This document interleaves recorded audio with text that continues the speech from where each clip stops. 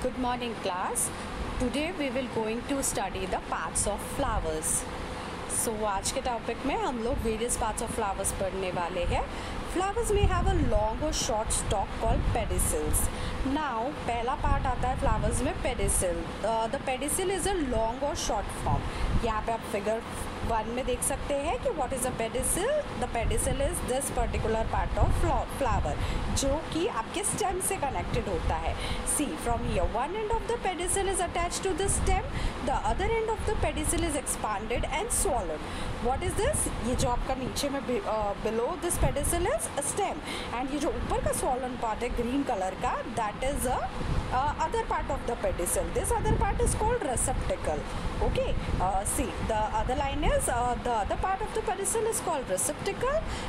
petals and the other parts of the flowers are supported on the receptacle आपको पता है कि ये जो फ्लावर्स आपके फ्लावर्स की जो कली होती है इन शॉर्ट जो हम हिंदी में कली बोलते हैं, वो कली से जो अटैच हो होते हैं फ्लावर्स हमारे, उनको वो सपोर्ट लगता है। एंड वो सपोर्ट को हम बोलते हैं receptacle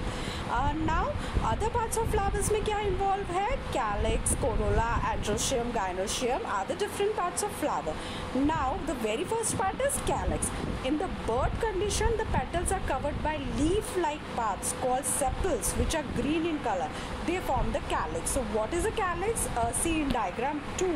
आपको दिख रहा है कि this particular part green part is called uh, जो बड़ा है लॉन्ग है साइज़ में एंड आपके स्वर्ण पार्ट में ही इन्वॉल्व है उसको बोलते हैं हम कैलिक्स और वही कैलिक्स में ये जो छोटा सा ग्रीन पार्ट है इसको हम कहते हैं sepal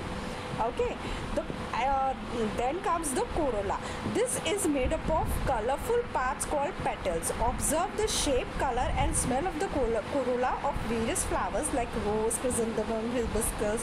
mogra कान्हे टागर etc so what is a corolla ये जो हमारी फूल की पंखुड़ियाँ है पंखुड़ियों में ये जो कलर्स होते हैं ये कलर्स और उनकी फ्रेग्रेंस ये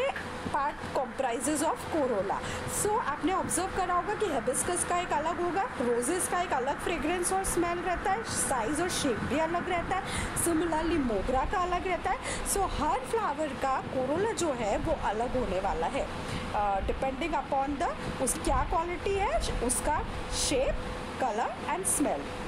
now comes the androecium part मतलब एक फ्लावर से दूसरा फ्लावर का कैसे ये होता है production so androecium is the male reproductive part of the flower it consist of stamens each stamen is made up of anther and filament अब ये देखिए आपका जो हिबिस्कस है हिबिस्कस में ये जो येलो फिल, फिलामेंट्स दिख रहे हैं आपको येलो पार्ट ये जो येलो पार्ट है this part is a androecium इस पार्ट में एंथर और फिलामेंट होता है. एंथर और फिलामेंट जो है वो टुगेदर मिलके स्टेमिन बनाते हैं। सो so, ये हो गया आपका androecium now comes the gynoecium part this is a female reproductive part of the flower ये एक फीमेल पार्ट होता है रिप्रोडक्टिव फ्लावर का। This is made up of carpels a carpels consist of stigma, style and ovary. तो हमारे carpels क्या होते हैं? स्टेगमा, स्टाइल और ओवरी। ये जो नीचे दिख रही है आपको, ग्रीन लीफ के नीचे जो लाइट ग्रीनिश कलर और वाइट में है this is called an ovary तो ये फीमेल रिप्रोडक्टिव पार्ट है जैसे कि एंड्रोशियम में आपका फिलामेंट और एंथर से स्टेबन बनता है, वैसे ही गाइनोशियम में आपके कापल्स किससे बनते हैं? स्टेगमा स्टाइल और ओवरी से। सो so, अभी एक एग्ज़ाम्पल लेते हैं कि अगर आप ये हिबिस्कस फ्लावर को वर्टिकल सेक्शन में ब्लेड से काटेंगे इक्वली तो दोनों का स्ट्रक्चर आपको सेम दिखेगा। यही चीज़ आपको पॉइंट नंबर टू में एक्सप्लेन की गई है। नाउ कम्स कि आफ्टर मेच्योरिटी इनका रिप्रोडक्शन कैसे होता है? मल्टीपल फ्लावर्स कैसे फॉर्म होते हैं? So after maturity anthers burst and pollen grains which are release fall on the stigma so from this figure figure number two ये जो एंथर्स है ये मेच्योरिटी के बाद खिलने के बाद बर्स्ट होते हैं और ये एंथर्स आपके स्टेगमा पर फॉल होते हैं okay this process is called pollination ये मैच्योरिटी